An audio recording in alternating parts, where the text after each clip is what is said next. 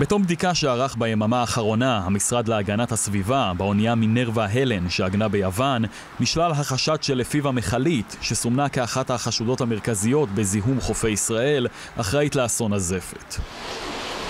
במשרד להגנת הסביבה שללו עד כה את מעורבותן של עשר אוניות באסון, אך מעגל החשודים מתרחב ועומד כעת על עשרות כלי שיט שאת שמם מסרבים במשרד לפרסם. יש דברים שעלולים להוביל גם כן לשיבוש חקירה ועל כן לא כל הנתונים נחשפים ברגע זה. ובארגוני איכות הסביבה קוראים לשרה גמליאל לפרסם את הפרוטוקולים של הדיונים שבהם מתקבלות ההחלטות על הצעדים השונים והתגובות לאסון. בטיפול באירוע זה נושא שקיפות המידע אף מקבל חשיבות יתר בשל היקפו האדיר של האירוע, הנזק שנגרם ממנו והשפעתו הרחבה על האוכלוסייה.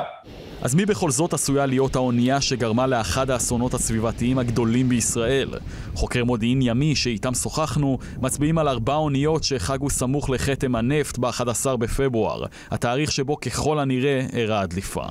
אוניית המטען פקובה, הנושאת דגל פורטוגל, אוניית הצובר איסה, היא מפליגה בדגל קפריסין, אוניית מכולות בשם מיה סאמר, המניפה דגל ליבריה, ואוניית המסע גרנדה אלאדה, הנושא דגל איטליה. The fuel that was spilled on the beaches has been reported as bunker fuel, which is like petrol for vessels.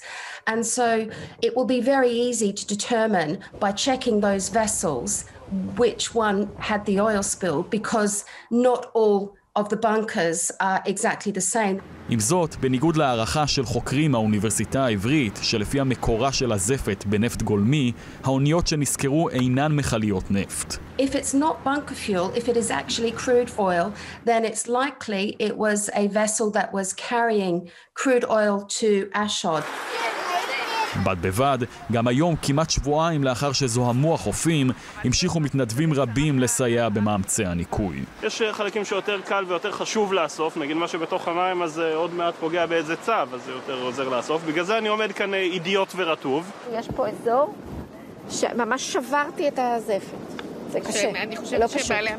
ואף על פי שהחופים עדיין מזוהמים, השרה להגנת הסביבה משדרת אופטימיות לקראת פתיחת עונת הרחצה. פתיחת העונה בהחלט יכולה להיפתח כסדרה, ואנחנו עמלים על מנת שזה יקרה, וכולם מגויסים לזה. יש אמנם משבר מאוד קשה, אבל הוא נמצא בשליטה ממש. במשרד להגנת הסביבה מעריכים שהכתם הזה, שהותר אתמול כ-150 קילומטרים מקו החוף של ישראל, לא צפוי להגיע לחופים שלנו.